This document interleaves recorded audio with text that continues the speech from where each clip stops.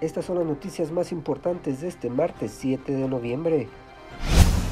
En Morelia encuentran cadáver putrefacto en domicilio de Villas del Pedregal. También en Morelia, hombres asesinados cerca de Campo Bello. Igualmente en Morelia, hay una pareja ejecutada en domicilio al poniente de la ciudad. Y en Apatzingán, fallece en un hospital indigente que fue baleado en la Lázaro Cárdenas. Arrancamos con la información. Hola, ¿qué tal amigos? Muy buenas noches, sean ustedes bienvenidos a este su noticiero de Red 113 y a la emisión de este martes 7 de noviembre. Vamos a iniciar con temas en materia de seguridad, primeramente en Morelia, y es que en el fraccionamiento Villas del Pedregal esta tarde fue localizado un cadáver putrefacto con huellas de violencia al interior de un domicilio. Un hombre muerto y en avanzado estado de descomposición fue encontrado dentro de un domicilio del fraccionamiento Villas del Pedregal, ubicado al poniente de Morelia. Autoridades policiales informaron que al susodicho se le apreciaron huellas de violencia. El hecho ocurrió la tarde del martes en un inmueble localizado en la esquina de las calles Berkelio y Mármol, frente a unas canchas de baloncesto. Unas personas hicieron el macabro descubrimiento y lo reportaron al número de emergencias 911. Oficiales locales acudieron al sitio y al ver el cadáver acordonaron el área. Luego pidieron la presencia de los elementos de la Fiscalía General del Estado. La Unidad de Servicios Periciales y Escena del Crimen se encargó de las investigaciones correspondientes y trasladó el cuerpo a la morgue para la práctica de la necropsia de rigor. La identidad de la víctima no fue expuesta, solo se supo que tenía 31 años de edad, informó para Red 113 Luzma Cervantes. También en Morelia, durante las últimas horas de ayer, en el fraccionamiento Campobello, cerca de las vías férreas, fue localizado un cadáver que presentaba el tiro de gracia y estaba semidesnudo. Un hombre ultimado un balazo en la cabeza fue localizado a la orilla de una brecha trasería ubicada a un costado de la vía férrea y del fraccionamiento Campobello en la ciudad de Morelia. De acuerdo con las autoridades, lo anterior fue reportado por algunos vecinos al número de emergencias. En el lugar se presentaron patrulleros, confirmaron la situación, delimitaron el perímetro y pidieron intervención de la Fiscalía General del Estado. Trascendió que la identidad del fallecido es desconocida, el teniente 40 y 45 años de edad. Además, su torso estaba desnudo. En el suelo había algunos casquillos percutidos. Especialistas de la Unidad de Servicios Periciales y Escena del Crimen llegaron a la ubicación, iniciaron las investigaciones respectivas y trasladaron el cadáver a la morgue para la práctica de la necropsia de ley. Previamente, también anoche en Morelia fue localizada una pareja asesinada al interior de una vivienda de la colonia Río Florido, en la zona de la salida Quiroga. Una pareja ejecutada fue encontrada la noche de lunes al interior de un inmueble de la colonia Río Florido, ubicada al poniente de Morelia. Los interfectos fueron hallados por unas personas y reportados al número de emergencias 911. El domicilio donde se registró tal situación se localiza en la calle 20 de septiembre, cerca de la clínica municipal y del autosom de salida a Quiroga. La identidad de los finados es desconocida. Ellos tenían entre 40 y 45 años de edad, comentaron autoridades policiales. En el sitio se presentaron unos patrulleros, quienes delimitaron el perímetro y alertaron a la Fiscalía General del Estado. Entonces intervino la Unidad de Servicios Periciales y Escena del Crimen, la cual inició las averiguaciones respectivas y trasladó los cadáveres a la morgue. Informó para Red 113 Luzma Cervantes. De igual forma, la Fiscalía General del Estado investiga el homicidio de una mujer al interior de su casa, esto en la parte alta de Ciudad Jardín. Una joven sin vida y con huellas de violencia fue encontrada en un inmueble de la colonia Ciudad Jardín, ubicada al poniente de Morelia, informaron autoridades policiales. El hallazgo lo realizaron unas personas durante la tarde de lunes en un hogar de la calle Donato Guerra, así que avisaron al número de emergencias 911. En el sitio se presentaron oficiales de la Guardia Civil y paramédicos, quienes confirmaron el deceso de la agraviada, identificada como Joana M. de 23 años de edad. Los uniformados acordonaron el área y pidieron intervención de la Fiscalía General del Estado. Entonces, en las averiguaciones respectivas se encargó la Unidad de Servicios Periciales y Escena del Crimen, así como policías de investigación de feminicidios. Informó para Red 113 Luzma Cervantes. Una riña al terminar un baile en la tenencia de Santiago Undameo dejó una mujer lesionada. Una mujer quedó lesionada durante una riña que ocurrió en la comunidad del Reparo perteneciente en la tenencia de Santiago Undameo, municipio de Morelia. Lo anterior se registró al concluir un baile y fue reportado por algunas personas al número de emergencias. En el sitio se presentaron elementos de la Guardia Civil para otorgar ayuda, pero la fémina herida fue canalizada por unos familiares a un hospital para su atención médica. Se desconoce el nombre de la paciente, así como su estado de salud. Anoche en Apatzingán un indigente fue baleado en la colonia Lázaro Cárdenas. Fue llevado a un hospital donde lamentablemente pereció. Lamentablemente falleció mientras recibía atención médica en un hospital. El indigente que fue baleado por desconocidos en las inmediaciones de la colonia Lázaro Cárdenas, perteneciente a esta ciudad de Apatzingán. Cabe recordar que la agresión se registró la noche del lunes anterior, sobre la calle Julio Andreu Almazán, en las cercanías de la cancha de fútbol del citado asentamiento donde las detonaciones alertaron a vecinos que a su vez reportaron lo sucedido al número de emergencias. En un primer momento en el sitio se presentaron oficiales de la Policía Municipal, así como paramédicos de protección civil, quienes hallaron moribundo con varios impactos de proyectil de arma de fuego a Julio F. de aproximadamente 40 años de edad. Aún con signos vitales, el ofendido fue trasladado a un hospital de la región, donde a pesar de los esfuerzos de los médicos, desafortunadamente perdió la vida, por lo que la Fiscalía General del Estado inició las correspondientes diligencias para integrar la correspondiente carpeta de investigación, informó para Red 113 Luzma Cervantes. En Parácuaro, a consecuencia de una aparente riña, dos hermanos fueron atacados con un arma de las denominadas taqueras, fueron llevados al hospital regional en Apatzingán, ambos perecieron. En la población de Antunes, municipio de Parácuaro, dos hermanos resultaron heridos al ser atacados a balazos en la puerta de su domicilio durante una aparente riña. Los afectados fueron trasladados a un hospital donde lamentablemente perdieron la vida. Los hechos se registraron cuando personal de la Fiscalía de Michoacán recibió el reporte de dos personas que fueron ingresadas en el hospital regional lesionados por impactos de arma de fuego y fallecieron en el área de urgencias. Inmediato acudió personal de la Unidad de Servicios Periciales y Escena del Crimen al referido nosocomio para iniciar las investigaciones correspondientes. Los fallecidos fueron identificados como Jesús Manuel M. de 23 años de edad y su hermano Javier M. de 57, mismos que según los primeros datos habrían sostenido una discusión con otros sujetos, uno de los cuales accionó en su contra un arma de las denominadas taqueras. Posteriormente, los investigadores acudieron al sitio de la agresión, donde realizaron una minuciosa recolección de indicios y de testimonios para dar por comenzada la carpeta de investigación correspondiente. Tangancícuaro, una mujer sin vida y un hombre lesionado, luego que la camioneta en la que viajaban se precipitara a un canal de aguas negras. Una mujer fallecida y un hombre lesionado fue el saldo que dejó la volcadura de una camioneta que se proyectó hacia un canal de agua en la carretera Tangancícuaro Gómez Farías. El fatal accidente tuvo lugar cerca de la entrada a la comunidad de Francisco J. Mújica, donde algunos automovilistas, al percatarse de la gravedad del siniestro, de inmediato solicitaron ayuda al servicio de emergencias.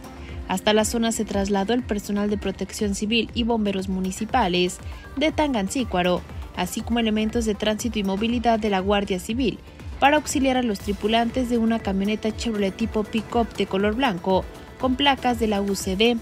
Los socorristas hallaron herido a un masculino que fue trasladado a un nosocomio de la región para su adecuada atención médica. Asimismo, dentro de la cabina de la unidad que terminó parcialmente dentro del canal de aguas negras, localizaron a una mujer ya sin signos vitales. La zona quedó resguardada por el personal policial para que más tarde los expertos de la Fiscalía General del Estado realizaran las diligencias correspondientes, siendo ignorado hasta el momento la identidad de las víctimas informó para Red 113 Luzma Cervantes. En Arteaga, 45 años de prisión, fue sentenciado Dimas Jesús A por el homicidio de un bebé de tan solo dos años. La Fiscalía General del Estado de Michoacán obtuvo sentencia condenatoria de 45 años de prisión en contra de Dimas Jesús A al acreditar su responsabilidad en el homicidio de su hijastro de dos meses y 18 días de nacido ocurrido en Arteaga. En juicio oral, el agente del Ministerio Público demostró que el 8 de marzo de 2022 cuando se encontraba en su domicilio la colonia centro, Dimas Jesús tomó al niño de un pie y comenzó a golpearlo, generando heridas en distintas partes del cuerpo, que le ocasionaron la muerte. De estos hechos dieron origen a una carpeta de investigación que fue integrada por la Fiscalía Regional de Lázaro Cárdenas, que reunió pruebas de la responsabilidad de Dimas en el delito de homicidio en persona menor de edad, quien en su momento fue detenido vinculado a proceso. Al agotarse la etapa procesal del juicio oral, el Tribunal de Juiciamiento resolvió emitir fallo condenatorio, al quedar demostrada la responsabilidad del acusado en el delito antes referido, por lo que fue sentenciado a 45 años de prisión, así como al pago por concepto de reparación del daño y al pago de una multa. Queridos amigos, de una pausa, es muy breve, no se despegue, ya volvemos con más información. El gobierno de Michoacán y el CECITEM te invitan a formar parte de una gran fiesta tecnológica. Asiste al Torneo Internacional de Robótica y STEM 2023, donde los mejores equipos de China, Paraguay, Canadá, Colombia y México mostrarán sus habilidades en esta disciplina. Te esperamos 30 y 31 de octubre y 1 de noviembre, en un horario de 9 a 16 horas, en el Centro de Convenciones y Exposiciones de Morelia. No faltes. Michoacán, honestidad y trabajo.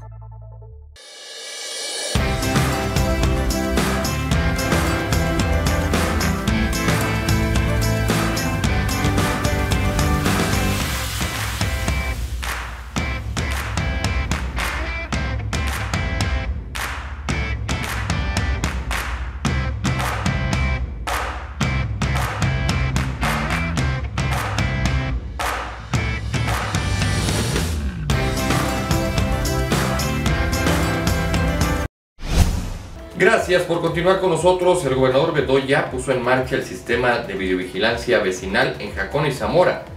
El gobernador Alfredo Ramírez Bedoya puso en marcha en los municipios de Zamora y Jacón un sistema de videovigilancia vecinal conformado por 105 cámaras de seguridad como parte de la estrategia de prevención del delito con inversión de 3.4 millones de pesos del Fondo para el Fortalecimiento para la Paz, Fortapaz, dentro del programa Barrio Bienestar. Los equipos serán colocados estratégicamente en 15 colonias con alto índice delictivo. Estas cámaras son independientes a las que ya se cuenta en el C5. Son cámaras comunales de los comités de participación ciudadana para reforzar su vigilancia en estas colonias. Nos da mucho gusto saber que las acciones en materia de seguridad están dando resultado y los inversionistas confían en Michoacán, destacó.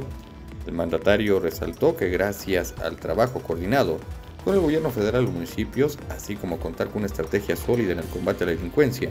Hoy se registran resultados positivos al ser un estado con la mayor disminución de homicidios en el país, con una tendencia a la baja del 30%.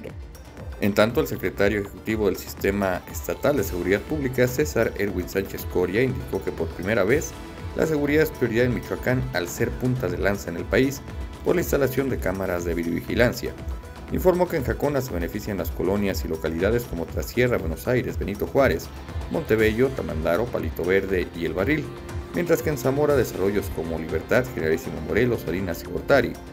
Valencia, segunda sección, Ferrocarril, Revolución, Porvenir y Altamira. Los presidentes municipales de Jacona y Zamora, Isidro Mosqueda Estrada y Carlos Alberto Soto Delgado respectivamente, agradecieron el compromiso del gobernador por trabajar por el bien de las y los michoacanos con estrategias para fortalecer las acciones de seguridad. Acompañaron al gobernador el general Fernando Colchado Gómez, comandante de la 21 Zona Militar, secretario de Seguridad Pública en Michoacán José Alfredo Ortega Reyes, Olivia Chávez Guzmán, directora del Centro Estatal de Prevención del Delito y Participación Ciudadana, Abril Verónica Martínez Muñoz, representante de los Comités Ciudadanos por la Paz, así como funcionarios estatales, municipales y habitantes de Jacona y Zamora. En este mismo tenor, el secretario ejecutivo de Seguridad Pública informó que son 105 cámaras con las que se fortalece la seguridad en 15 colonias de Jacona y Zamora. El secretario ejecutivo del Sistema Estatal de Seguridad Pública inauguró la instalación de 105 cámaras en 15 colonias del municipio de Zamora y Jacona, como parte del sistema de vigilancia del Fondo para el Fortalecimiento para la Paz Portapaz, con lo que se fortalece la seguridad de más de 38.000 habitantes.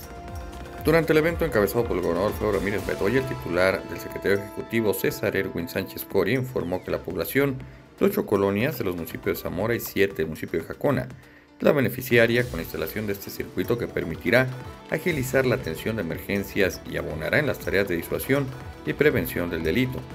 Sánchez Coria destacó la visión municipalista del gobernador, que permite atender de forma frontal y directa el combate a la criminalidad y la delincuencia al mismo tiempo que agradeció a los presidentes de estos dos municipios por su apoyo y su respaldo en las acciones que se llevan a cabo para impulsar una cultura de paz.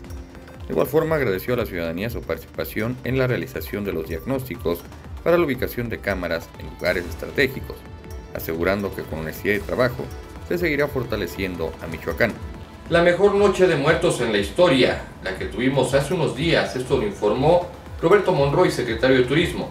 El secretario de Turismo del Estado de Michoacán, Roberto Monroy García, explicó que Michoacán contó con una afluencia turística superior a los años anteriores, superando las expectativas que se tenían para esta celebración. También expresó que por parte del gobierno del estado se les hizo entrega de 3.164.000 pesos a municipios, comunidades y autogobiernos, recurso entregado hace tres semanas para fortalecer el desarrollo de estas actividades. Asimismo mencionó que Michoacán contó con 12.69% más turistas y visitantes que en el 2022, recibiendo un total de 303.095 personas en la Noche de Muertos, dejando una derrama económica de 334.545.432 pesos. De igual forma destacó que esto es gracias al trabajo de promoción y difusión que se hizo prácticamente a donde vamos, llevamos dos patrimonios, fundamentalmente Noche de Ánimas y Mariposa Monarca, y estamos viendo el resultado, cómo se está teniendo este impacto. Finalmente dijo que se recibieron turistas de procedencia nacional e internacional, con el 49.1% de turismo local y 50.9% de turismo nacional, logrando el 82% de nacional y el 18% en turismo internacional. Desde Morelia se fortalece el turismo en Michoacán, lo declaró Alfonso Martínez Alcázar, alcalde de Morelia. Como resultado del impulso que ha brindado el presidente municipal Alfonso Martínez Alcázar a la celebración de Día de Muertos en Morelia, a través de un vasto programa cultural, la capital se posiciona como una de las ciudades que más ha crecido a nivel nacional en cuanto a recibimiento de turismo y visitantes. Como resultado de la promoción y activación turística, Morelia aumentó un 20% la ocupación hotelera en comparación al 2022, logrando una afluencia promedio del 87 al 90% desde el 20 de octubre al 2 de noviembre, números que superan al año pasado catalogado como histórico para la ciudad. En rueda de prensa, el alcalde destacó que en este 2023 Morelia se afianza como la puerta de entrada y recuperación del turismo nacional e internacional en Michoacán, ya que en estos días se registró presencia de turistas de Francia, España, China, Corea, Brasil, Colombia, Estados Unidos, Rusia, Lituania, Italia, Japón, Alemania, Países Bajos, entre otras ciudades. Así, el Ayuntamiento de Morelia ha catapultado la reactivación económica y la generación de empleos mediante la exposición de altares, tapetes florales y la ornamentación que llenaron de vida las plazas del centro histórico, así como la tenencia de Capula que fue sede de la Feria Nacional Artesanal y Cultural de la Catrina. Alfonso Martínez enfatizó que este reto se alcanzó gracias al esfuerzo intermunicipal de la Secretaría de Turismo y Cultura, en el que se promocionaron las actividades de Día de Muertos en diferentes espacios. Tal es el caso del Centro Comercial de Santa Fe, aunado a las actividades culturales y artísticas que lograron aumentar la estadía de ocupación hotelera de los turistas nacionales e internacionales. Resaltó de suma relevancia la garantía de la seguridad otorgada por la Policía Morelia, la limpieza prestada por la Secretaría de Servicios Públicos para lucir el esplendor de la ciudad. Por buen fin, el gobierno de Michoacán condonará cargos en multas y recargos en trámites vehiculares. En respaldo al buen fin y en apoyo a la economía familiar, el gobierno Michoacán, a través de la Secretaría de Finanzas y Administración, eliminará multas y recargos en materia de trámites vehiculares privados y públicos, incluidas las licencias de conducir, con una vigencia extendida del 17 al 30 de noviembre del presente año. El subsecretario de Estatal de Ingresos, Salvador Juárez Álvarez, en conferencia de prensa en la Cámara de Comercio, Servicios y Turismo de Morelia, exhortó a la ciudadanía con adeudos en refrendos, placa de circulación, licencias de conducir y otros conceptos vehiculares, a que aproveche la oportunidad con el objetivo de ponerse al corriente. Si bien es cierto que el buen fin tendrá vigencia oficial del 17 al 20 de noviembre, nosotros en Finanzas y Administración pretendemos ampliar los beneficios hasta el día 30 de este mes, hasta las 12 de la noche con el objetivo de que se aprovechen las ventajas de pagar sus adeudos vehiculares sin multas ni recargos, explicó. Por otra parte, planteó que tendrá una tendencia actual precisamente el uso de plataformas para realizar los pagos digitales. Pretendemos que la población continúe utilizando este medio, ya que puede hacerse durante las 24 horas los 365 días del año. Es confiable y transparente, señaló el funcionario, quien recalcó que en este caso es una vía que pueden utilizar los usuarios de trámites vehiculares con la intención de liquidar sus deudas. Juárez Álvarez consideró que la sociedad michoacana ha respondido con hechos a la confianza que le tiene a la administración que encabeza el gobernador Alfredo Ramírez Bedoya, un ejemplo claro de lo anterior, dijo, es que en 2022 registraron 1.170.000 pagos por concepto de refrendo vehicular. En un lapso del año, la cifra se sitúa cerca del millón de trámites en este rubro, lo que significa que se alcanzará la meta. Ante funcionarios públicos, empresarios y representantes de los medios de comunicación, el responsable de Subsecretaría de Ingresos y representante del secretario de Finanzas y Administración, Luis Navarro, argumentó que el gobierno de Michoacán se suma a las políticas y acciones federales con el propósito de respaldar la economía familiar. Michoacán avanza en la prevención de violencia de género con modelo educativo, lo informó la CEI Mujer. La Secretaría de Educación en el Estado, en colaboración con la Secretaría de Igualdad Sustantiva y Desarrollo de las Mujeres Michoacanas, CEI Mujer, así como diversas colectivas, sociedad organizada, presentaron modelos curriculares de perspectiva de género que serán aplicados en planteles de preescolar, primaria y secundaria. La titular de la CIMUJER, Carolina Rangel Gracida, señaló que este enfoque es impulsado en atención, prevención y erradicación de la violencia de género contra las niñas y adolescentes en los espacios educativos de la entidad, el cual se distribuirá en los 14 municipios con declaratoria de alerta de violencia de género en Michoacán, como Huetamo, Lázaro Cárdenas, La Piedad, Marabatío, Morelia, Páscuaro, Zaguayo, Tacámbaro, Zamora, Zitácuaro, Uruapan, Apatzingán, Los Reyes e Hidalgo. Puntualizó que este enfoque se destaca como un compromiso para abordar las desigualdades en los municipios donde existe un alto índice de violencia de género en contra de las niñas, adolescentes y mujeres de la entidad. De igual forma, Rangel Gracida enfatizó la importancia de la perspectiva interseccional que reconoce la diversidad de experiencias de las personas. Esta visión abarca dimensiones como raza, orientación sexual, discapacidad, clase social, región geográfica y más, asegurando que todas las voces sean escuchadas y respetadas. Este modelo curricular es una herramienta valiosa para la capacitación de docentes y personal educativo, proporcionando recursos y estrategias concretas para incorporar la perspectiva de género en sus prácticas pedagógicas. Facilita la formación necesaria para implementar en la práctica lo que se promueve en teoría y abraza la diversidad en todas sus formas, señaló la titular de SEI Mujer. La presentación de este modelo en la educación primaria en Michoacán representa un paso significativo hacia la construcción de una educación libre de violencia de género en contra de las mujeres, no solo en los municipios con alerta de violencia, donde el gobierno michoacán, encabezado por el gobernador Alfredo Ramírez Bedoya, trabaja arduamente en garantizar una educación inclusiva y respetuosa de la diversidad en todas sus manifestaciones y libre de violencia. Queridos amigos, de esta manera hemos llegado al final del espacio informativo. Les agradecemos el por su atención. Les recordamos, mañana los esperamos a las 20.30 horas para su noticiero diario. Invitación abierta que nos acompañe en cualquier plataforma de Red 113. Twitter, Facebook, YouTube o Instagram nos encuentran así como Red 113. Yo soy Marcos Morales. Les deseo que tengan todos una excelente noche.